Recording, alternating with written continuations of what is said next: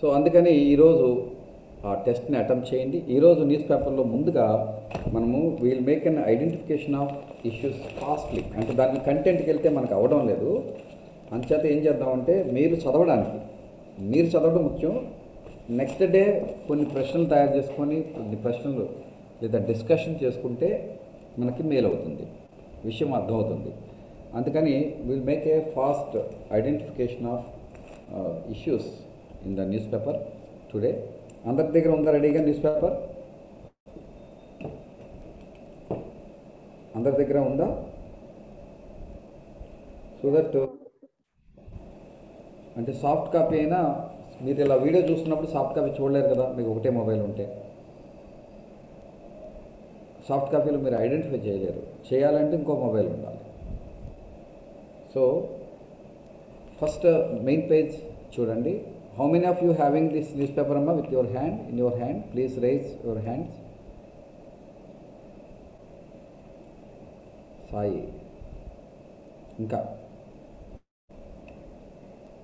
so you're going by soft copy most of you Jai Srinivas soft copy మీ దగ్గర second soft copy ఎలా ఉంటుంది? Second mobile ఉండదు కదా?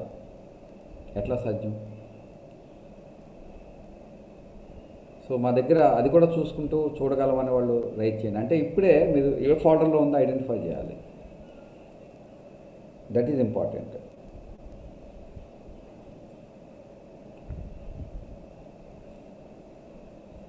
రేపటి నుంచి సాఫ్ట్ కాపీ కూడా మీకు చూపిస్తాను. బట్ ఇక్కడికి వచ్చిన తర్వాత ఖచ్చితంగా సాఫ్ట్ కాపీ చూసే అవకాశం ఉండదు. ఓన్లీ హార్డ్ కాపీ ఇన్- మన అకాడమీకి వచ్చేస్తాయి న్యూస్ పేపర్స్. ఎవరిని న్యూస్ పేపర్ వాళ్ళు కలెక్ట్ చే హాస్టల్కి వస్తాయి. హాస్టల్ ఎవరు ఏమైనా తీసుకోవాలి. Okay? So like that today first important continuation of this Afghan crisis reign of terror is always temporary అని మోడీ గారు ఇచ్చినటువంటి స్టేట్మెంట్ని ఇచ్చారు. అంటే దీన్ని బట్టి మనం ఇది ఇది దేనికి సంబంధించింది?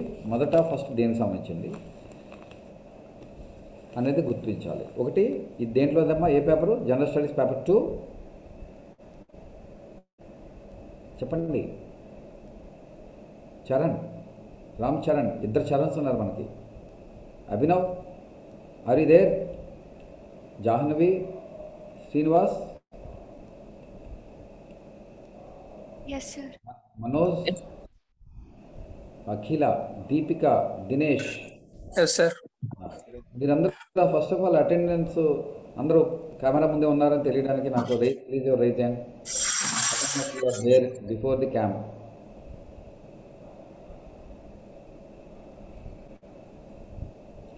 so out of sixteen ten participant that means remaining six are not attentive as I have not started in time and please I request Jhansi are you there here the remaining four students are మన వాళ్ళు ఒకళ్ళు ఉండుంటే అది తీసేస్తే ఇద్దరు miss అయ్యారో? ఆ ఇద్దరిని చూసి uh, వాళ్ళకి కాల్ చేయండి. Okay next now the reign of terror is always temporary says Modi the reign of terror is always temporary ఎందుకు ఇలా చెప్తున్నారు మోడీ గారు? అంటే కాంటెక్స్ట్ ఆఫ్ఘనిస్తాన్ అనమాట సో ఇది ఫస్ట్ ఐటమ్ అయితే దీన్ని బట్టి మనకి ఏం తెలుస్తుంది అంటే వాట్ ఇండియా స్టాండ్ ఒక ప్రైమ్ మినిస్టర్ మాట్లాడారంటే దాని అర్థం ఏంటి? India stand India stand on the unfolding story of the Afghan crisis unfolding story of the Afghan crisis ఇది అర్థమవుతుంది. అంతేనా? So the reign of terror is always temporary says Modi so ఆయన చెప్పేది ఏంటి is not in favour of the what is going on there in the Afghanistan that means is taking a stand against Taliban so something that is not a right thing to speak at this moment దానివల్ల ఏమవుతుందంటే the Afghanistan Taliban leaders are asking for cooperation of India. Definitely they are favored to other countries, our other neighbors, like China, Pakistan and other countries. But uh, at the same time, can we change the Taliban? Can you undone this, uh, what is going on there? Then there shall be no such kind of statements hmm. against uh, Taliban it is detrimental to our interest but by going by my emotions and if you take this kind of stands it's something that is not help us so thus is what is the reign of terror is always temporary what if Modi saying definitely reign of terror ఎప్పుడు ఉండదు. ఉండదు కాబట్టి వాళ్ళు కూడా అన్ని కంట్రీల యొక్క cooperation అడుగుతున్నారు Taliban but వాళ్ళు ఇంటర్నల్గా మాత్రం మా ఇష్టం వచ్చినట్టు మేము ఉంటాం ఎక్స్టర్నల్గా మీరు మాకు కోఆపరేట్ చేయండి అని అడుగుతున్నారు. అయితే ఇది ఎంతవరకు అవుతుంది? This will be civil war definitely ఇలాంటి పొలిటికల్ ఇన్స్టెబిలిటీ ఉన్న దేశాల్లో సివిల్ వార్ అంటారు. అంటే దేశంలో ఉన్నటువంటి వివిధ వర్గాల మధ్యన యుద్ధం జరిగితే కానీ దాన్ని సివిల్ వార్ అంటారు అనమాట ఇంటర్నల్ వార్ అనమాట అది క్లోజ్ అయ్యి అన్ని అసిమిలేషన్ అమాల్గమేషన్ అయితే అంటే అమెరికాతో ఒక అగ్రిమెంట్ ఉంది వీళ్ళకి. అగ్రిమెంట్లో అన్ని వర్గాలను కలుపుకొని they will form a government అంటే Taliban they not accepting that stand. ఎందుకంటే వాళ్ళు వాళ్ళు రైవల్స్ ఉన్నాయి ఇంటర్నల్గా. There is another leader from Pashtunistan and northern alliance so ఈ విధంగా మనకి దీన్ని కూడా చదవండి.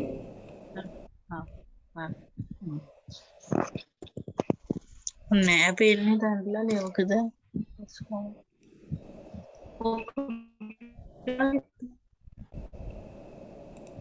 ఓకేనా then opposition leaders next item ఉంది మెయిన్ పేజ్ వన్లో opposition leaders call for unity after virtual meet joint statement from nineteen parties call for protest next month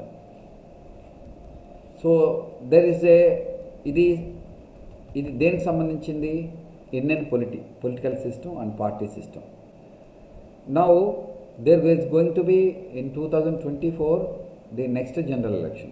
Is it right so ఆ కాంటెక్స్ట్లో there is a polarisation there is a polarisation of parties and గ్రూప్స్గా division already మనకి ఇండియాలో రెండు సంకీర్ణ కూటములు ఉన్నాయి.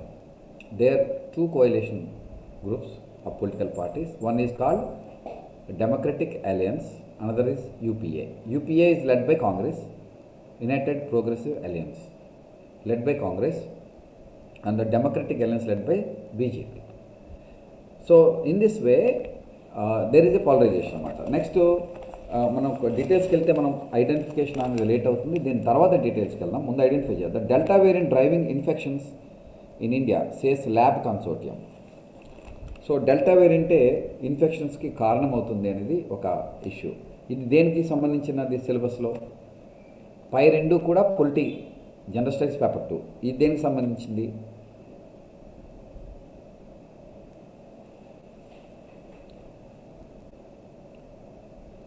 Delta variant driving infections in India. దేనికి మనం ఇది లింక్ చేస్తాం సిలబస్లో? ఇది current అఫైరే. Pandemic and its effects and aftermath COVID post COVID effects. Or post COVID situation. So delta వేరియంటే ఇండియాలో ఇంకా ఇన్ఫెక్షన్స్ కారణమవుతుంది అనేది ఇక్కడ main issue.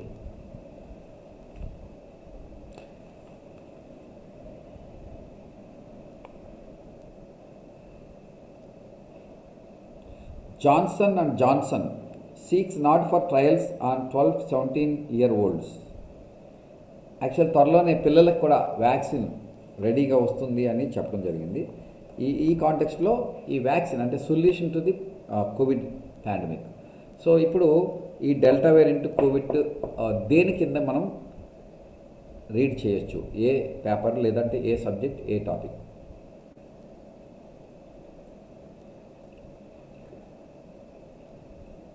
మనకి రెండు లింక్ ఉన్న టాపిక్స్ ఉన్నాయి. జనరల్ స్టడీస్ త్రీలో. అందులో మనకి డిజాస్టర్ మేనేజ్మెంట్ ఎన్విరాన్మెంట్ బయోడైవర్సిటీ ఒకటి ఉంది. రెండు ఇంటర్నల్ సెక్యూరిటీ ఉంది. మనం ఇప్పుడు ఇది ఐటమ్స్ ఐడెంటిఫికేషన్ తర్వాత ఒకసారి పేపర్ త్రీ కూడా చూద్దాం. ఎందుకంటే పేపర్ టూ తర్వాత ఎక్కువ కరెంట్ కంటెంట్ ఉండేది పేపర్ త్రీలో. అందుకని పేపర్ త్రీ చూద్దాం. ఈ రెండు ఇట్లనే మొత్తం ఐదు పేపర్లు రెండిట్లోనే ఎక్కువగా కరెంట్ కంటెంట్ ఉంటుంది. సో ఆ కాంటెక్స్లో మనం అది పూర్తి చేద్దాం.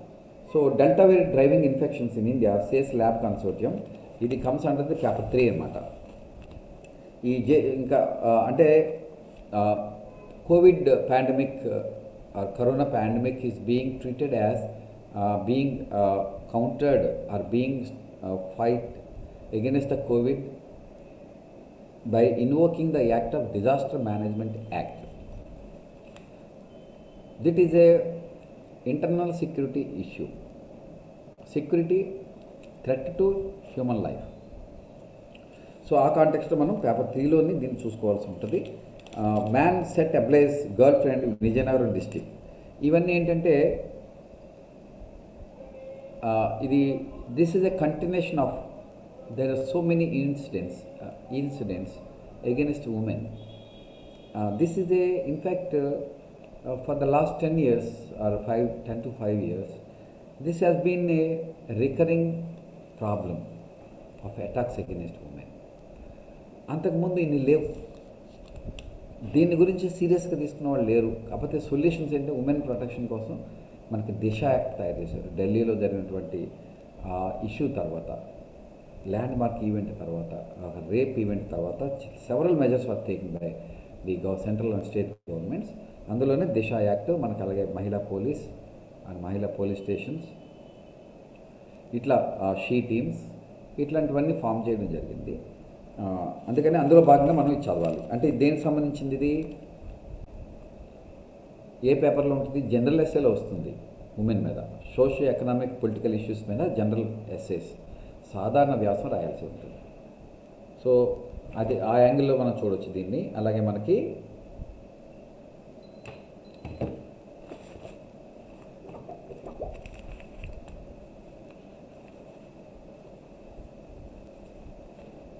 ఈ ఉమెన్ అటాక్స్ అని జనరల్ స్టడీస్ అలాగే మనకి సోషో ఎకనామిక్ ప్రాబ్లమ్స్ అని ఇచ్చాడు. దేంట్లో ఇచ్చాడు? జనరల్ స్టడీస్ టూలో ఇచ్చాడు నేను సిలబస్లో చూసాం మనం. సో ఆ విధంగా మనం అందులో కూడా ఆ కాంటెక్స్లో కూడా మనం చూడాల్సి ఉంటుంది. ఇంకా మనం directly will go to our అంటే స్టేట్లో ఏమైనా ఇంపార్టెంట్ ఇష్యూ ఉన్నాయా? Inter state treasury hunter gangs busted. అది పెద్ద ఇంపార్టెంట్ కాదు. పేజ్ నెంబర్ త్రీలో చూస్తున్నాను నేను. New markets need of the hour for the fourth city that's not that much important ఎన్ని లోకల్ ఇంపార్టెన్స్ మనకు వద్దు. స్టేట్ వైడ్ ఆర్ స్టేట్లో జరిగే ఈవెంట్ కానీ ఇష్యూ కానీ that when it has national impact అవి చూద్దాం. ఎక్స్ఎంఎల్ఏ అవన్నీ పెద్ద ఇంపార్టెంట్ కాదు. వరలక్ష్మి వ్రతం పెర్ఫార్మింగ్ టెంపుల్స్ ఇవన్నీ కూడా ఏంటంటే కామన్ రొటీన్ లోకల్ ఇష్యూస్ అనమాట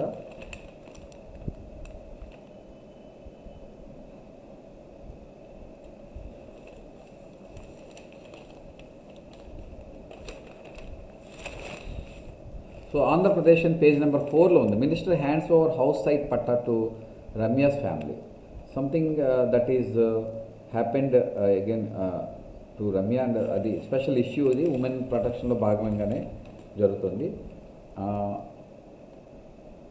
infections cross two million in the state two million అంటే ట్వంటీ ల్యాక్స్ అని. Fourteen hundred thirty five cases report in twenty four hours and six single day toll lowest in the last one thirty three death rate మాత్రం చాలా lowest ఉంది. Infections మాత్రం fourteen hundred thirty five ఉన్నాయని చెప్తున్నారు. అది కూడా మనం దాంట్లో భాగంగానే చూసుకోవచ్చు. ఇందులో స్టేట్లో మనకి అంత ఇంపార్టెంట్ ఇష్యూస్ అయితే ఏమీ లేవు.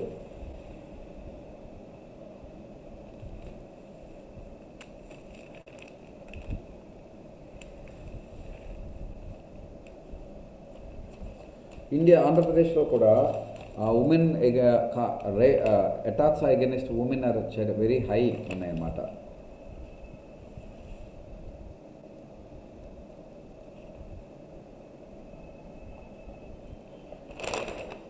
So will go to our own page our real page page number one తర్వాత ఇవాళ కూడా ఈ లోకల్ ఏం లేవు. అయితే ఎడిటోరియల్ పేజ్కి చూడండి. మీరు యాప్లో చూసిన ఎడిటోరియల్ పేజ్ చూడండి. రీబూట్ టు రీసెట్ ఇది కంప్యూటర్ వర్డింగ్ టెక్నాలజీతో ఆఫ్ఘన్ క్రైసిస్ని ఇవ్వడం జరిగింది. ఏంటది? రీబూట్ అనేది కంప్యూటర్ ఉపయోగిస్తాం వాడతాం. అలాగే రీసెట్ అనేది కూడా.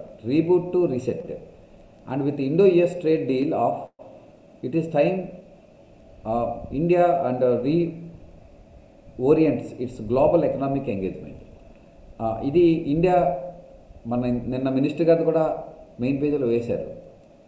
US is withdrawing from the agreement trade agreement with India అని.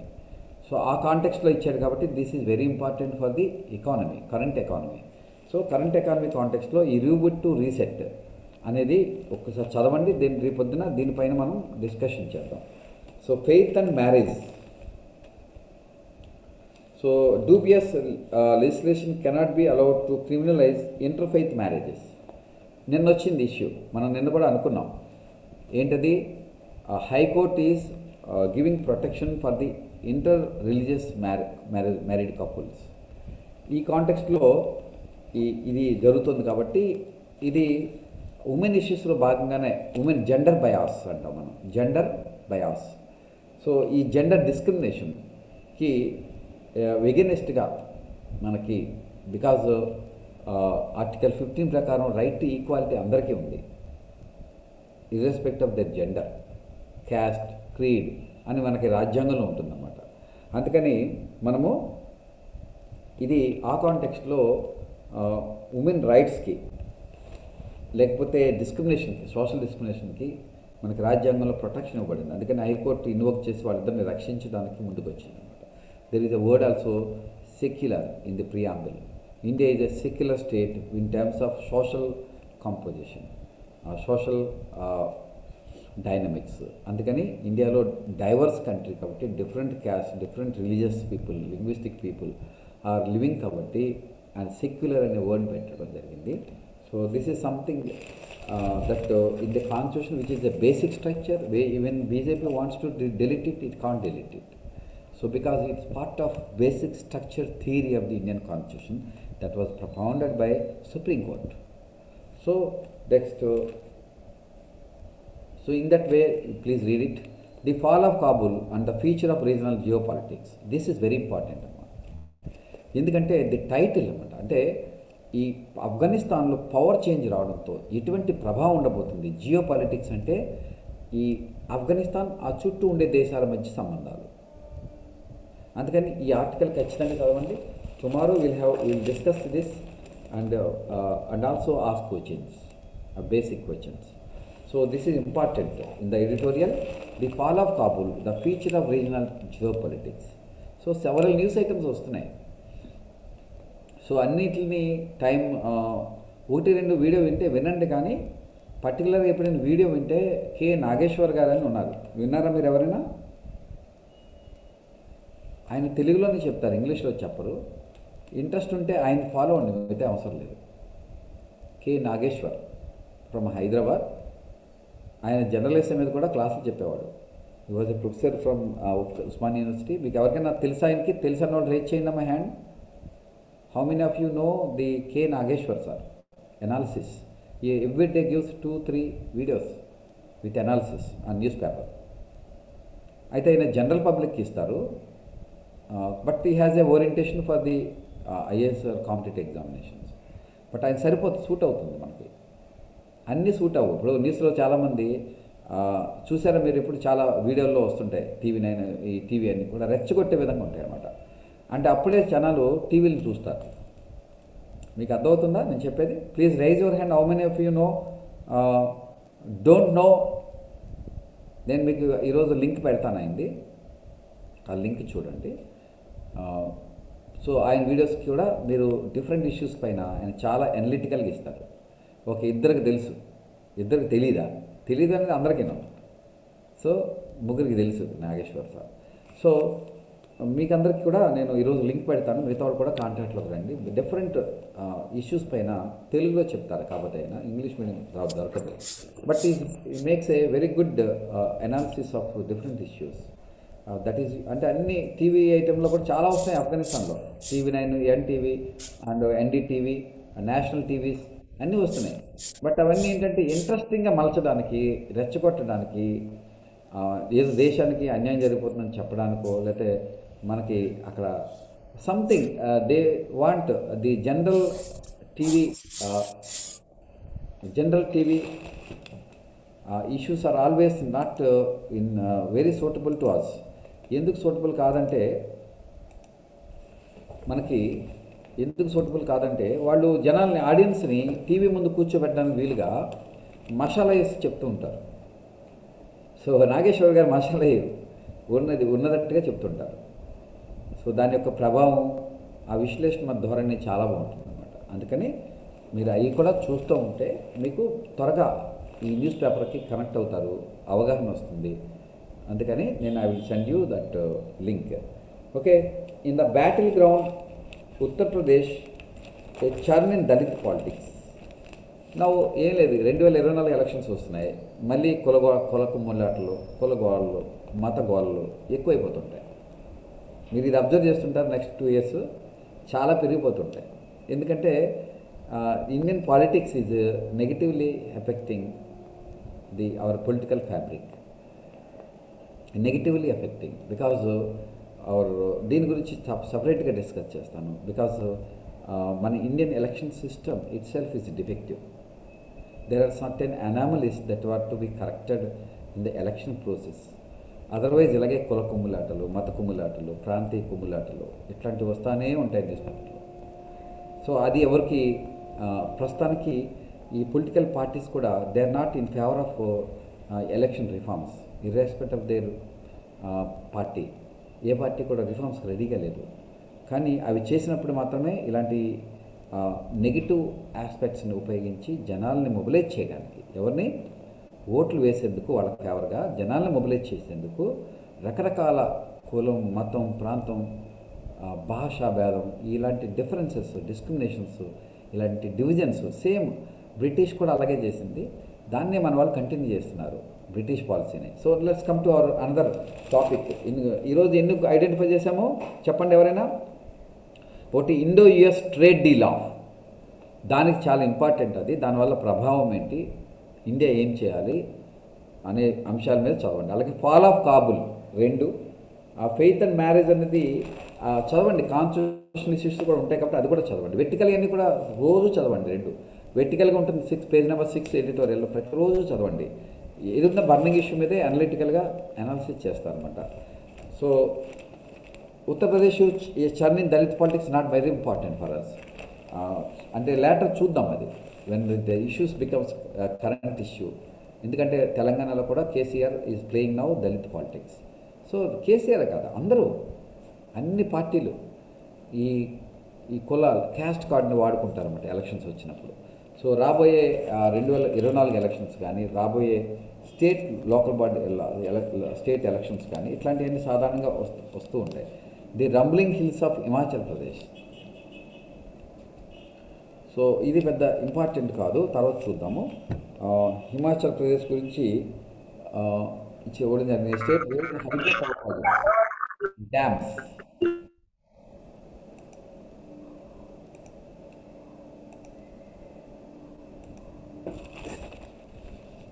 So Himachal Pradesh గురించి ఒక రీజనల్ ఇష్యూ ఇవ్వడం జరిగింది. మ్యూట్ చేయండి అమ్మా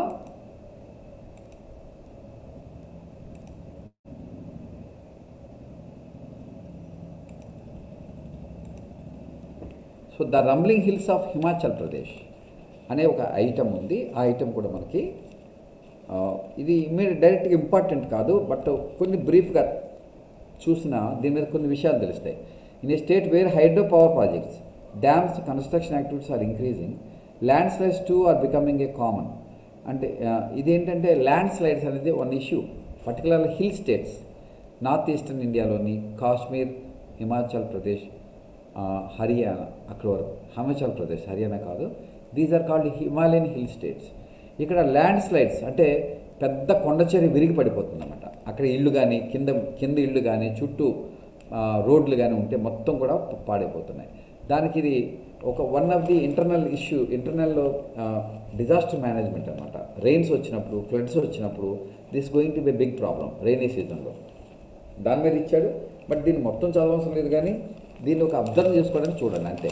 So there are three items in the editorial today మీరు కంపల్సరీగా చదవాల్సింది reboot to reset Indo US trade ప్యాక్ట్లో America బయటకు వచ్చింది దేనికి వచ్చింది ఎందుకు వచ్చింది అందులో ఏ విషయాలు ఉన్నాయి అవంటివన్నీ చదవాలి. అలాగే ఫెయిత్ అండ్ మ్యారేజ్ అనేది ఒకటి.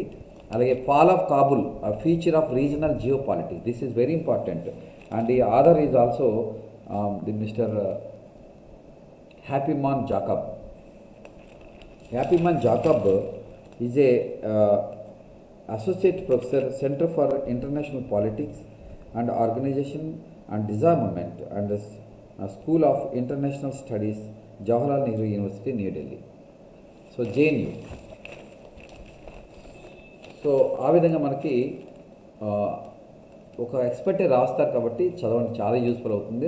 ఎందుకంటే unfolding story different people different scholars different యాంగిల్లో రాస్తారు. బట్ వీళ్ళందరూ కూడా ఆ ఎక్స్పీరియన్స్ ఉన్న వాళ్ళు ఈ జియో పాలిటిక్స్ పైన లేదా ఇంటర్నేషనల్ రిలేషన్స్ పైన. అందుకని చదవాలి సో ఇక ఇది అయిపోతే మనకి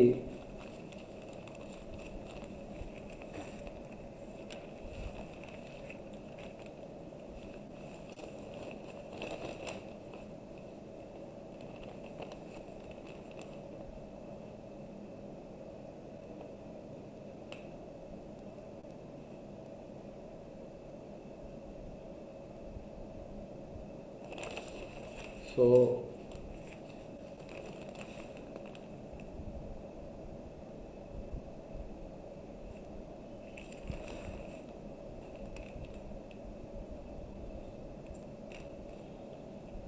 ఇక్కడ ఒక కొన్ని ఈవెంట్స్ ఇష్యూస్ ఉంటాయి. చూడండి న్యూస్ అనే పేజ్ నెంబర్ టెన్లో ఉంది. GSI geological survey of India list geo tourism sites in north eastern to visit after unlock unlock అంటే పాండమిక్ లాక్డౌన్స్ క్లోజ్ అయిపోయిన తర్వాత కొన్ని టూరిస్ట్ ప్లేస్ అంటే north eastern India is very beautiful place Himalayan mountains and చాలా అందంగా ఉంటుంది అన్నమాట టూరిజంకి ఎక్కువగా అందరూ అటే వెళ్తారు. అలాగే జిఏ జిఎస్ఐ అంటే geological survey of India list geo tourism sites north east to visit after unlock ఇది ఐటమ్ కూడా మనం చదవాలి. ఇవన్నీ బ్రీఫ్గానే ఉంటాయి కాబట్టి చదవడానికి ఇబ్బంది లేదు. వాట్ ఆర్ ది సైట్స్ ఏ సైట్స్ని చూస్తుంది? జియో టూరిజంని ఎట్లా ఎంకరేజ్ చేస్తారు? ఎందుకంటే tourism very important generator of sector for generating employment అందుకని చేయడం. ఇంకా ఇంకపోతే వరల్డ్ పేజ్ నెంబర్ లెవెన్. మనం అనుకునే ముఖ్యమైనటువంటి place page number eleven. Both Trump and Biden administration responsible for Afghan situation. అంటూ ఒక మనకి ఈ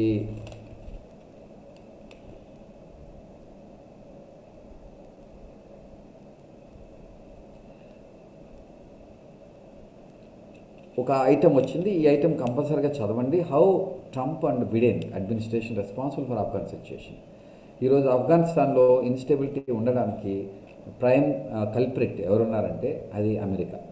అమెరికన్ పాలసీ అమెరికన్ పాలసీకి వాళ్ళకి అవసరం లేకపోతే వదిలేస్తారు అలాగే. బ్రిటిష్ కూడా ఇండియాని వెళ్ళిపోదాం అనుకున్నప్పుడు uh, సర్వనాశనం చేసి వదిలేసింది. సో అలాగే ఈరోజు అదే సమస్య స్టిల్ కంటిన్యూ అవుతుంది. ఏదైతే British sowed the seeds and divided the country అదే పందాలో వెళ్తూ ఉందన్నమాట. సో నెక్స్ట్ ఐటమ్ ఇది ఇంపార్టెంట్ ఐటమ్ చదవండి దీంట్లోని. బోత్ ట్రంప్ అండ్ బిడెన్ ఎందుకంటే what are the causes for Afghanistan turmoil or crisis అన్నప్పుడు ఇట్లాంటి రీజన్స్ ఉంటాయన్నమాట. మెయిన్ రీజన్ మాత్రం ఎన్ని కారణాలు ఉన్నా it is the Brit America that is responsible for this today's what is called genocide in Afghanistan instability political instability in Afghanistan so reports of targeted Taliban killings spark Afghan fears reports of targeted Taliban killings spark Afghan fears so militants tortured and killed Hazara men in Ghazni province so ఈ సాధారణంగా జరుగుతాయి. ఎందుకంటే వర్గాలు ఉంటాయి. వీళ్ళు చంపుకుంటూ వెళ్తూ ఉంటారు. ఎప్పుడైతే పవర్ ట్రాన్సాక్షన్ జరిగిందో తప్పనిసరిగా ఇన్నోవేటబుల్గా సివిల్ వార్ జరుగుతుంది. అంటే ఎప్పుడైనా ఫోర్స్ఫుల్ పవర్ ట్రాన్సాక్షన్ వస్తే ఎలక్షన్ ద్వారా వస్తే మన ఇండియాలో జరిగినట్టుగా ఎలక్షన్స్ ద్వారా వస్తే అలా ఈ లాండ్ ఆర్డర్ ప్రాబ్లం కానీ బ్లడ్ షెడ్ కానీ జరగదు. కానీ ఇలా ఫోర్ బై ఫోర్స్ ఎప్పుడైనా పవర్ చేంజ్ వస్తే ఖచ్చితంగా it will leads to civil war so ఆ సివిల్ వార్లో అనేక మంది చనిపోతారనమాట అందుకని ఇప్పుడు ఇది కూడా important NATO adjust Taliban to allow evacuation so NATO facing sharp criticism on handing of Afghanistan situation Biden will make remarks ఇది నాటో అంటే ఏంటి? నాటో అంటే మీరు తెలుసుకోవాలి. అందుకనే నేనేం చెప్తున్నాను న్యూస్ పేపర్ చదివినప్పుడు వెంటనే మీరు మొబైల్లో వాట్ ఈజ్ నాటో అని కొట్టండి. అంటే నేను చెప్పు నేను అన్నీ చెప్పడం వీలు కాదు కాబట్టి మీరు నేర్చుకోవడంలో భాగంగా చేయండి. నవ్ యూఆర్ వెరీ ఫ్రీ ఇక్కడికి వచ్చిన తర్వాత మళ్ళీ అకాడమిక్ క్లాసెస్ కోచింగ్ క్లాసెస్ అన్నీ జరుగుతాయి. అందుకని ఇప్పుడు ఫ్రీగా ఉన్నారు కాబట్టి న్యూస్ పేపర్ మీద దృష్టి పెట్టండి. మీకు మండే కల్లా నేను బుక్స్ తెప్పిస్తాను. దగ్గరలో ఉన్న వచ్చి కలెక్ట్ చేసుకుని వెళ్ళండి. సో ఈరోజు కాల్ చేస్తారు మన వాళ్ళు. సో ఆ విధంగా చేయండి. So next NATO adjust Taliban to allow evacuation Taliban ఏం చెప్తుందంటే ఫారిన్ నేషనల్స్ ఎవరైతే వెస్ట్రన్ పీపుల్ ఉన్నారో వాళ్ళందరూ బయటకు వచ్చే వరకు హెల్ప్ చేయమని ఒక కాల్ చేస్తుంది. నాటో అంటే northern atlantic treaty organisation northern atlantic treaty organisation it's a military group international military group it is led by America other western countries like Britain France in order to keep the domination over the world particularly it emerged in the cold war context ఆ cold war కాంటెక్స్ట్లో ఇది పుట్టడం జరిగింది. So cold war కాంటెక్స్లో ఇది పుట్టడం జరిగింది. అందుకని ఈ నాటో అనేది కూడా చాలా ఇంపార్టెంట్ ప్లేయర్. ఈరోజు రష్యాకి వ్యతిరేకంగా ముఖ్యంగా సోవియట్ రష్యాకి వ్యతిరేకంగా ఇటు నాటో ట్రీటీ అని అలాగే సీటో సీటో అనే ఆర్గనైజేషన్ ఇంకోటి ఉండే సీటో కొలాప్స్ అయిపోయిన తీసేశారు.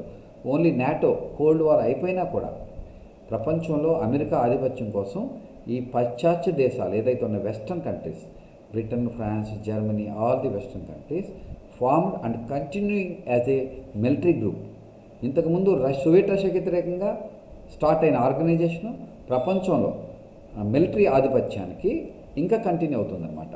సో వాళ్ళు ఆఫ్ఘనిస్తాన్లో మొన్నటిదాకా ఈ ట్రూప్స్ మెయింటైన్ చేశారు. వాళ్ళు ఎప్పుడైతే విత్డ్రా చేసుకున్నారో ఈ తలిబాన్స్ అటాక్ చేశారు.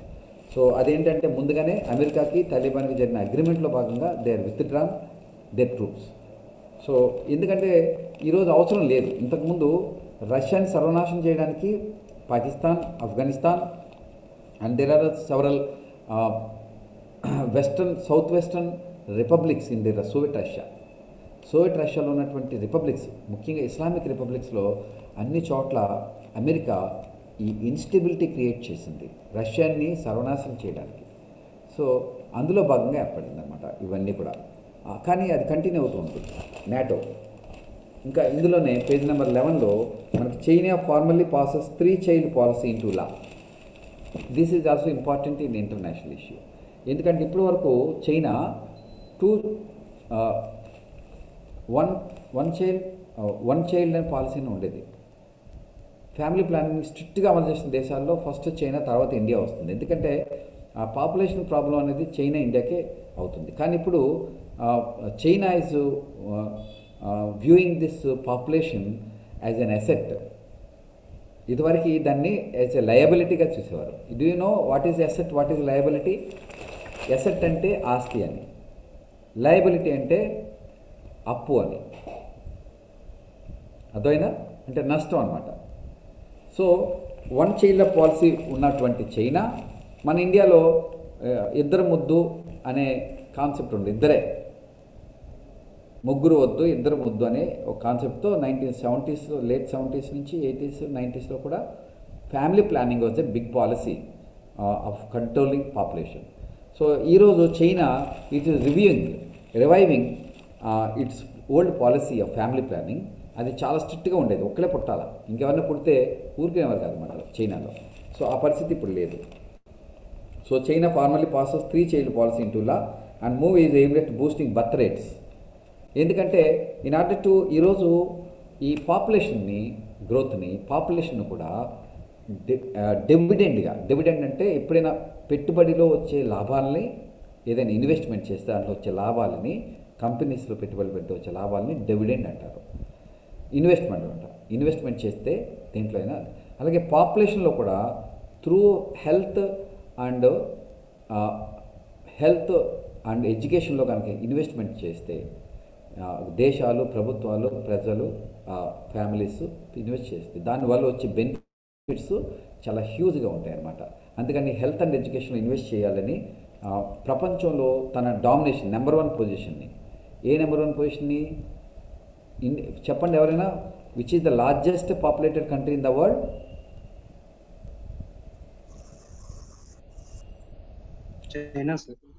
Which is the second largest populated country? India so ఈరోజు చైనా ఏం చేస్తుందంటే యాజ్ ఇట్స్ ఇంటర్నేషనల్ పాలసీలో భాగంగా బర్త్ రేట్స్ పెంచడానికి కృషి చేస్తూ ముగ్గురు పిల్లలు కానండి అనే కాన్సెప్ట్ని ఇప్పుడు పాలసీగా తీసుకోబోతున్నారు ఇదివరకు వద్దు ఒకళ్ళు ఇంకెవరు వద్దు అనే టైప్ పాలసీ ఉండేది. ఆ పాలసీని ఇండియాకి రెండు ఇద్దరు అని ఉండేది. ఇప్పుడు పాలసీని రివైజ్ చేసింది. ఈవెన్ మోడీ గారు అధికారంలోకి వచ్చినప్పుడు కూడా చెప్పారు. I have we're having a great advantage of three Ds three D three D అంటే India having a democracy which is vibrant which is stable vibrant stable అంటే ఎప్పుడైనా పవర్ ట్రాన్స్ఫర్ జరిగింది అనుకోండి కాంగ్రెస్ నుంచి బీజేపీ పవర్ వచ్చినప్పుడు ఇండియాలో గొడవలు జరగల. That is called a vibrant democracy and Indian political institutions are very strong compare to many countries of course western compare కంట్రీస్తో పోల్చినప్పుడు అంత మెచ్యూర్డ్ స్ట్రాంగ్ కాదు. బట్ డెఫినెట్గా when compare to in Asia and Africa among all the countries అన్నిటికన్నా కూడా Indian democracy so vibrant very so stable sustainable so అందుకని మనకి ఇక్కడ three D అని చెప్పారు. ఒక డి ఏంటి? India having a vibrant democracy అని. ఆయన ఫస్ట్ టైం అధికారంలోకి వచ్చినప్పుడు. సెకండ్ డి ఏంటంటే demand demand India is having a largest middle class population in the world so but it uh, lot of demand lot the demand. Therefore, the Western investors will come to India. ఎందుకని వస్తువులు ఇప్పుడు ఒక- ఒక entrepreneurs ఉన్నారు industries ఉన్నాయి వాళ్ళు industrial revolution వచ్చిన తర్వాత కదా వెస్ట్రన్ డామినేషన్ ప్రపంచంలో స్టార్ట్ అయింది ఇండస్ట్రియల్ రెవల్యూషన్ వల్లే ఇంతకుముందు ఏన్షియంట్ మిడివల్ ఏజెస్లో మనకి only China and India richest countries in terms of industry in terms of goods and exports But uh, Western world was highly backward.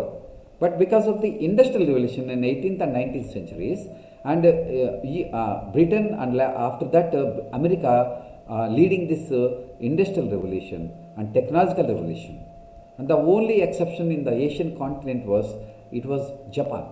Japan was was the first industrialized nation in the world in Asia.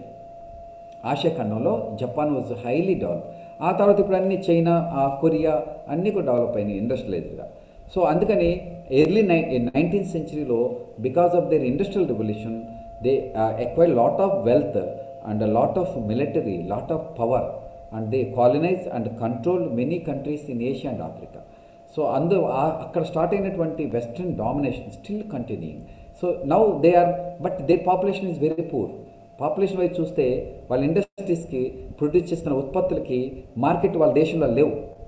ఖచ్చితంగా they have to come to either Africa or Asia and several countries కాబట్టి ఇండియాలో largest middle class population ఉన్నారు కాబట్టి వీళ్ళందరూ కూడా ఇండియాకే వస్తారు. Are చైనాకి. ఇంతకుముందు చైనాకి ఇచ్చారు వెళ్ళేవారు వెళ్ళేవారు. కానీ చైనా ఇంటర్నేషనల్ పాలసీలో she is aspiring for number one position in the world so they are countering the western alliance there is a western alliance just example I told you the NATO NATO western అలయన్స్లో military group అన్నమాట. America ఆధిపత్యంలో నడుస్తుంది. So వీళ్ళందరూ ఏంటంటే now they are antagonist to China because China aspiring for number one position in the world of course ఇది ఖచ్చితంగా చైనాకు ఆ potential capacity ఉంది. సో దాని తర్వాత number two or number one పొజిషన్కి వచ్చే కెపాసిటీ ఇండియాకే ఉంది.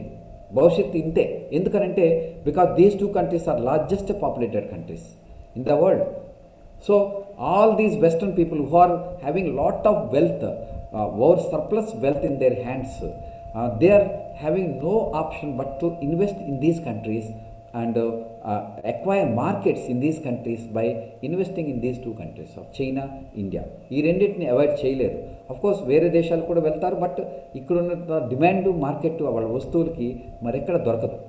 సో ఆ కాంటెక్స్లో India having demand therefore India having lot of potential for economic development economic growth అని మోడీ గారు చెప్పారు. ఇక మూడో డి త్రీ డి ఇది మీరు జనరల్ ఎస్ఏలో ఉపయోగించుకోవచ్చు అనమాట ఇట్లాంటి కాన్సెప్ట్స్ని మూడో డి ఏంటంటే demographic dividend India having huge demographic demographic dividend in the world India is having more than fifty percent of its population between the age group of nineteen and twenty nine ఈ young age group ఎవరైతే ఉన్నారో they are having lot of energy and dynamic and వాళ్ళ అలా ఆ youth population largest youth populated country in the world is now largest youth populated country in the world అంటే India so ఇండియాకి ఇంత strong youth force ఉంది కాబట్టి వీళ్ళు ఎకానమీని మరింత వైబ్రెంట్గా ముందుకు నడిపిస్తారు. ట్రేడ్ అండ్ కామర్స్ డెవలప్ అవుతుంది ఎకానమీ డెవలప్ అవుతుంది అని చెప్పడం జరిగిందన్నమాట. ఆ కాంటెక్స్ట్లో ఈ డెమోగ్రఫిక్ డివిడెండ్ దాని మీద చాలా ప్రశ్నలు వచ్చినాయి. సివిల్ సర్వీసెస్లో చాలా ప్రశ్నలు వచ్చినాయి ఇప్పటికీ. సో డెమోగ్రఫిక్ డివిడెండ్ అంటే కాన్సెప్ట్ ఏంటంటే ప్రజలే ఆస్తి. ప్రజలు అనేది మన దేశంలో ఎక్కువ కాబట్టి ఆ ప్రజల నుంచి ఆదాయం వస్తుంది. ప్రభుత్వానికి ఎలా ఆదాయం వస్తుందండి? ఎవరైనా చెప్పండి? ప్రభుత్వానికి ఎలా ఆదాయం వస్తుంది? ట్యాక్స్ ట్యాక్స్ ట్యాక్సెస్ ఎవరు కడతారు? పీపుల్ సార్ ప్రజలు సంస్థలు కంపెనీలు. Minimum twenty to thirty percent ఇన్కమ్ని ఈ ఈ ప్రజలు ఉత్పత్తి చేసింది లేదా సంస్థలు పరిశ్రమలు ఉత్పత్తి చేసినటువంటి గూడ్స్ అండ్ సర్వీసెస్. మీకు ఒక డెఫినేషన్ చెప్తాను. వాట్ ఈజ్ నేషనల్ ఇన్కమ్ ఒక దేశ ఆదాయం అని దేన్ని అంటారు? ఒక దేశ ఆదాయము అని దేన్ని అంటారు? అనేది విషయం తెలుసుకోవాలి. What is the national income national income is simply called people's income ఇక్కడ పీపుల్స్ అంటే ప్రజలు కుటుంబాలు సంస్థలు అని అర్థం. వీళ్ళందరూ ఉత్పత్తి చేసినటువంటి వస్తు సేవల ద్వారా వచ్చేదే ఆదాయము అంటారు. అంటే వస్తు సేవలని ఉత్పత్తి చేస్తే మాత్రమే వచ్చేదాన్ని ఆదాయం అంటారు. అంటే గవర్నమెంట్ కరెన్సీ ప్రింటింగ్ చేసి జనాలకు ఇస్తే అది ఆదాయం అనదు. ఆదాయం కాదు కూడా. అది చాలా ప్రమాదం కూడా. It leads to inflation inflation అంటే ధరలు పెరగడానికి దారితీస్తుంది. అందుచేత మనకి వాట్ ఈజ్ ఇంపార్టెంట్ అంటే సో ఈ నేషనల్ ఇన్కమ్ అంటే ఒక దేశంలో ఒక సంవత్సర కాలంలో ఉత్పత్తి అయినటువంటి అన్ని అంతిమ వస్తు సేవల విలువ ద్రవ్య రూపంలో కొలిస్తే దానికి విదేశీ ఆదాయాన్ని జోడిస్తే వచ్చేదే జాతీయ ఆదాయం. మీరు ఇది కాన్సెప్ట్గా తెలుసుకుంటారు ఇంటర్ ఫస్ట్ ఇయర్లోని డిగ్రీ ఫస్ట్ ఇయర్లోని భవిష్యత్ తర్వాత మ్యాక్రో ఎకానమీలో వన్ ఆఫ్ ది మేజర్ చాప్టర్గా ఉంటుందన్నమాట నేషనల్ ఇన్కమ్ అనేది. అంటే in a country in a year all the goods and service all the final goods and services produced in a year in a country that is measured in terms of money money డబ్బు రూపంలో. And added the net income from abroad abroad అంటే foreign countries వచ్చినటువంటి net income అంటే imports exports ద్వారా వచ్చేది. ఇవన్నీ కలిస్తే వచ్చేదాన్ని జాతీయ ఆదాయం అంటారు. జాతీయ ఆదాయం సింపుల్గా చెప్పాలంటే ప్రజల ఆదాయము. ప్రజలు అంటే ఎవరు అంటే వ్యక్తులు కుటుంబాలు సంస్థలు. సో ఈ సంస్థలు ప్రజలు ఉత్పత్తి చేసిన వస్తు సేవల ద్వారా వచ్చే ఆదాయంలో కొంత భాగాన్ని ప్రభుత్వము పన్నుల రూపంలో వసూలు చేస్తుంది. Okay? So India is having a demographic dividend this three D three D formula three D theory of Modi ఇప్పుడు ఆయన మర్చిపోయినట్టున్నారు. బహుశా అది స్టార్టింగ్లో రెండు వేల పద్నాలుగులో చెప్పారు ఇది. So three D India is having three strengths India having strength in three three D అని. సో ఆ కాంటెక్స్లో ఈ డెమోగ్రఫిక్ డివిడెండ్ అనేది మనం ఇప్పుడు ఎందుకు discuss చేసుకుంటున్నామంటే China is also recognise that population is a asset it will get a dividend from it ఎందుకంటే ఇండియాతో పోటీ పడలేదు ఈ విషయంలో. India is having largest youth population in the world so ఇంత లార్జెస్ట్ యూత్ పాపులేషన్ చైనాకి లేరు. అంతే కదా వెస్ట్రన్ కంట్రీస్కి లేరు. జపాన్లో కూడా లేరు. అక్కడంతా ముసలి వాళ్ళు ఎక్కువ. ఎందుకంటే వాళ్ళ జీవన ప్రమాణం life expectancy is more than seventy మన ఇండియాలోనే సెవెంటీ ఫైవ్ ఇయర్స్ ఉంది ఇప్పుడు లైఫ్ ఎక్స్పెక్టెన్సీ సో అక్కడికి మరీ ఎక్కువ అనమాట ఎయిటీ నైంటీ కూడా బతుకుతారు. సగటున ఎయిటీ నైంటీ ఇయర్స్ బతుకుతారనమాట అందువల్ల వాళ్ళు ఏం చేశారంటే వాళ్ళు అందరు కూడా స్టార్టింగ్లో ఈ ఎక్కువ జనం ఎక్కువ పిల్లలు ఉంటే ఆస్తి విడిపోతుందని తగ్గిపోతుందని. మోర్ ప్రాబ్లమ్స్ వస్తాయని దేశానికి ప్రాబ్లమ్స్ వస్తాయని కుటుంబానికి ప్రాబ్లమ్స్ వస్తాయని అందరూ కూడా ఫ్యామిలీ ప్లానింగ్ని వాడారు. కానీ నిజానికి పాపులేషన్ కంట్రోల్ అన్ని దేశాలు చేయాలి. ఎందుకు చేయాలంటే where are the resources? On earth భూమి మీద లేవు కదా. ఈరోజు గ్లోబల్ వార్మింగ్ క్లైమేట్ చేంజ్ ఎందుకు వస్తుంది? ఈ మనుషులు ఎవరైతే ఉన్నారో వాళ్ళందరూ కూడా ఈ గ్రీన్ హౌస్ గ్యాసెస్ని ఉత్పత్తి చేస్తుంది వాళ్ళే. ది ప్రైమ్ కల్పరేట్ ఎవరు మనుషులే భూమి మీద. దానివల్ల క్లైమేట్ చేంజ్ వస్తుంది దానివల్ల గ్లోబల్ వార్మింగ్ వస్తుంది దానివల్ల బ్యాలెన్స్ తప్పింది. కాకపోతే అందుకని కానీ ఇది ఇంటర్నేషనల్ లా ఏర్పడాలి. ఇంటర్నేషనల్ గవర్నమెంటే లేదు. ఎవరెవరిని కంట్రోల్ చేస్తారు? చైనా ఇప్పుడు ముగ్గురు అంటుంది. ఇంతమంది ఒక్కలంది ఇప్పుడు ముగ్గురు అంది ఇక్కడ ఇంతకుముందు ఆర్థిక సమస్యల వల్ల ఒక్కలంది ఇప్పుడు ముగ్గురు కావాలంటుంది. ఇప్పుడు రేపు పొద్దున ఇండియా కూడా ముగ్గురు కాదు ముప్పై మంది కావాలనొచ్చు. కానీ రిసోర్సెస్ ఏవి? ల్యాండ్ ఏది? వాటర్ ఏది? In this way there is a lot of problems the because of the population బ్యాలెన్స్డ్గా గ్రోత్ ఉండాలి. బ్యాలెన్స్డ్ గ్రోత్ ఉండాలన్నమాట. బ్యాలెన్స్డ్ గ్రోత్ లేకపోతే మనకి యూనిక్ ఎగ్జాంపుల్ ఏంటంటే మన ఇండియన్ హిస్టరీలో there is a Harappan civilisation Harappan civilisation అనేది ఒకటి జరిగింది. ఇప్పుడు వాట్ ఇస్ టైం నౌ అమ్మా నెక్స్ట్ క్లాస్ సార్ వచ్చారేమో చెప్పండి. వచ్చిన రాగానే టెన్ ఫార్టీ అయింది.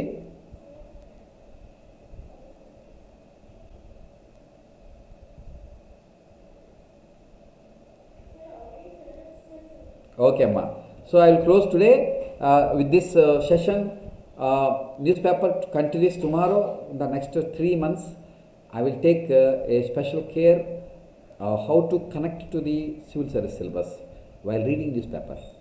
How to use the news items for the uh, civil service exam. This is the real foundation for the achieving IAS in first attempt. Thank you, everyone. And any doubts ఉంటే తెలియజేయండి. ఈరోజు మాట్లాడిన విషయాల మీద అర్థం కాని ఏమైనా ఉంటే అడగండి.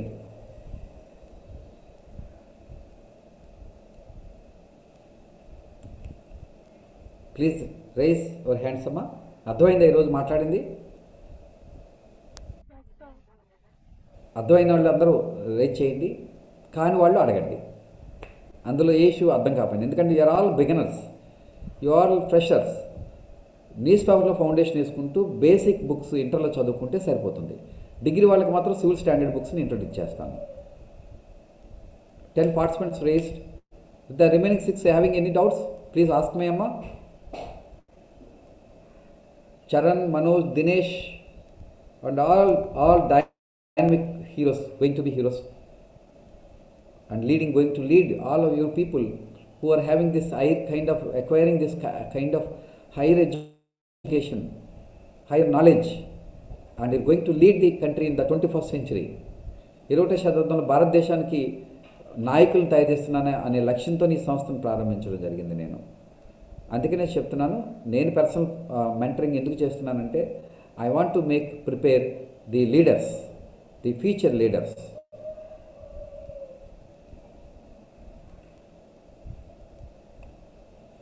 okay any doubts అన్నా ఇంకా నలుగురు ఐదుగురు ఎత్తలేదు కాబట్టి ఇద్దరు ముగ్గురు డౌట్స్ ఉంటే అడగండి otherwise I will close today session